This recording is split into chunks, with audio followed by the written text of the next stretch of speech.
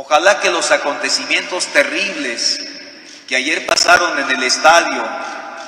de la corregidora en Querétaro, aquí nunca se repliquen.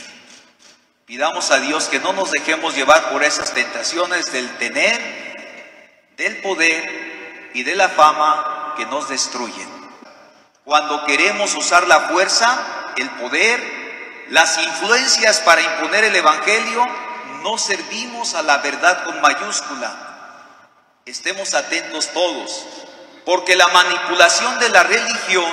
es decir, el poder terreno que se adjudican ciertos personajes religiosos, es la astucia más sutil del enemigo, que con frecuencia nos tienta como lo hizo con Jesús al sugerirnos usar la religión